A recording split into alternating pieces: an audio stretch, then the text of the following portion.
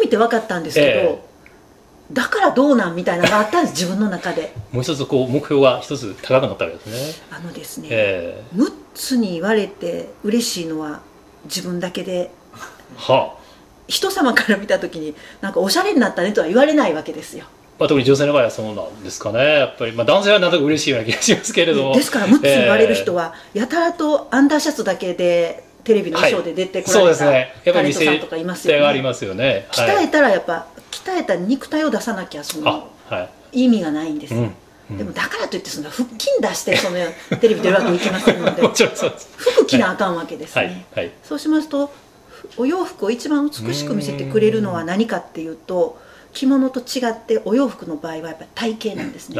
姿勢であったりあとなるほどね。こうどこにどういう筋肉がついてるかっていうことの上に布がパランと乗るのが衣装であってなるほど。やっぱり基本は肉体なんですね。うん。この全体のバランスであったりするそうですでしょうね。そうです。だからそういうシェイプアップをされると何かやっぱりこう精神的なのか肉体的にこう改善したというかですね、まあ、体調がすごく良くなったんですとか、何かやっぱりありますかね？その健康面から良くなった部分。あの筋肉を実感できるようになりましたなるほどね。これは明日のえ勇気をもたらしてくれます、ー確かになんか自信につながるようなつながります。ことですね。全身脂肪だらけでどうやって明日勇気が生まれるのって、うんうんうんやっぱり筋肉を感じるようになって、うんうんあのあちょっと体力がついたかもしれないとか、確かにそうですね。あ。とその筋肉がつくだけの根性のあるトレーニングをしてるわけですからなるほど。やっぱ精神面でも鍛精えら神面でもれるというか。ちょっと強くなるんですねなるほどね。いや、それ非常にいいですね。確かにあの僕らの筋肉が確かに最近落ちてる人が多いんですよね。で、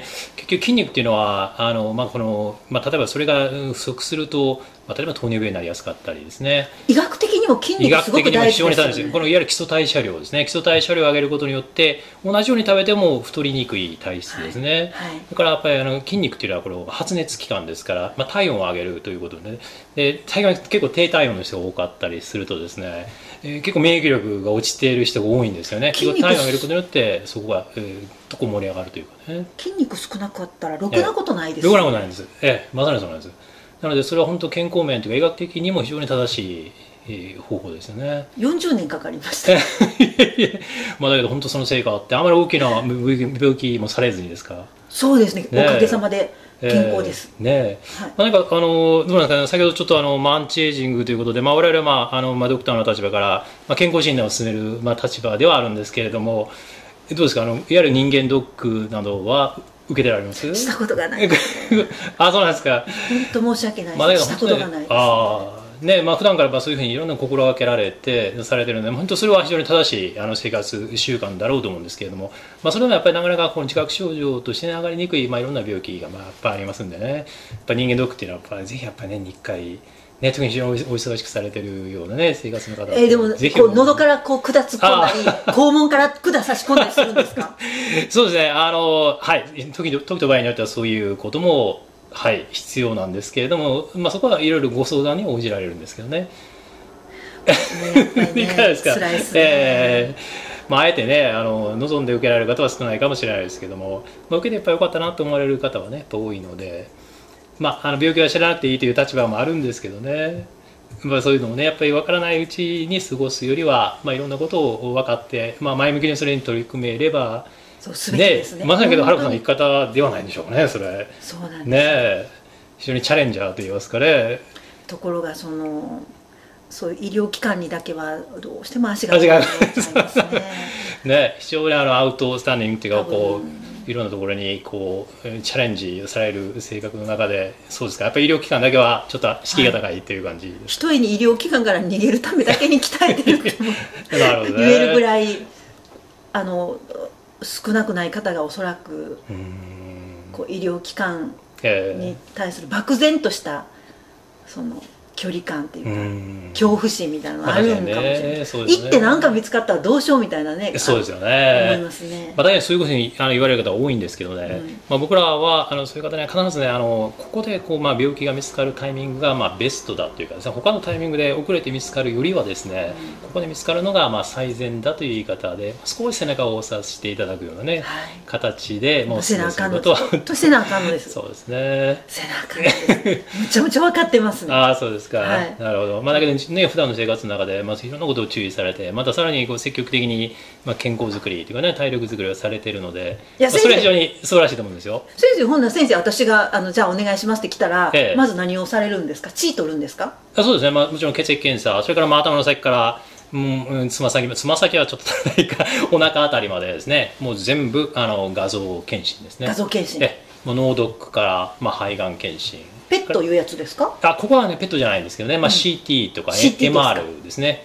MRI という、はい、それでも画像検査でもつぶさにもう見ますんでね、もうあらゆるあの病気が、まあ、見つか見つかるというかあの分かるようにね。胃と肛門はないんあですか？これいとこももあのあるんですよあの胃カメラがあったりですね。それせなあかんのですか、まあ、これは、まあ、あのご希望に応じてということです、まあ、胃はやっぱりねやっぱ日本人の場合、まあ、胃がんが、ね、やっぱ多いのでカメラただあの最近は眠り薬とかですねあのわからわからないうちにあのできる検査もあるんです。あそうですか。痛くないですか？そうなんです。あのもう苦しくないです苦しくないようにできるだけその苦痛をね、えー取るように、まあ、我々日々努力してますんでね。そうですか。まあ、そういうドックの環境もだいぶ良くなりました。以前に思えば。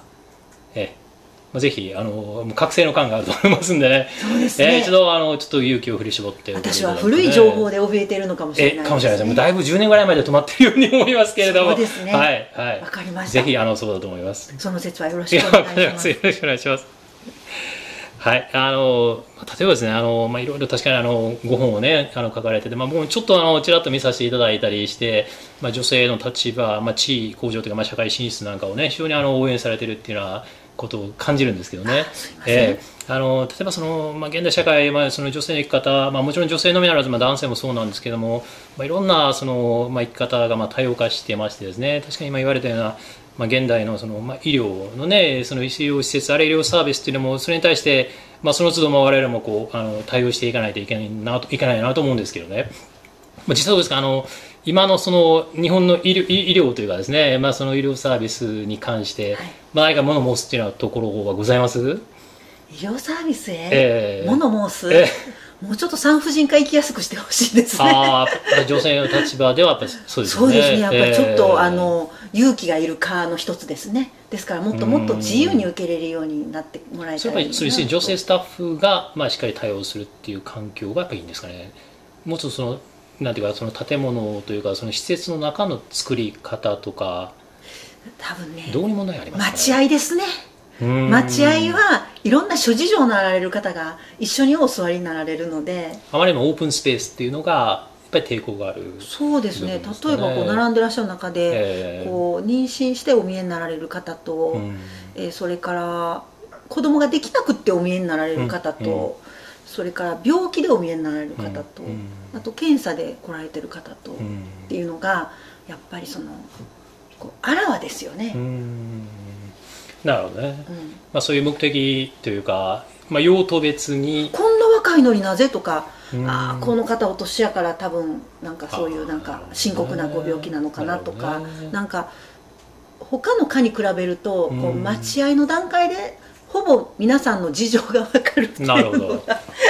まあ、我々あの、まあ、待合室っていうのはあまりこう直視することはないんですけれども、まあ、そこでまあいろんなこうもうドラマが出来上がっているというか、そんなことはるか横来てんで何しに来て。んあそれは非常に辛いですね。辛いですえね。え、確かにね。これ一般おお腹出てないで、ええ。ということは何？あのあそこでいろんな詮索が、そうですそうです。もうそこで診断されてしまうみたいな。それは私の職業のみならず、ええ。やっぱ大勢のそのちょっとお年頃の女性の方々がちょっと敷居が高い、デリケートな問題ですよね。敷居が高いな、ええそういうとこがあるのかなとか、うん。まあそれぐらいですかね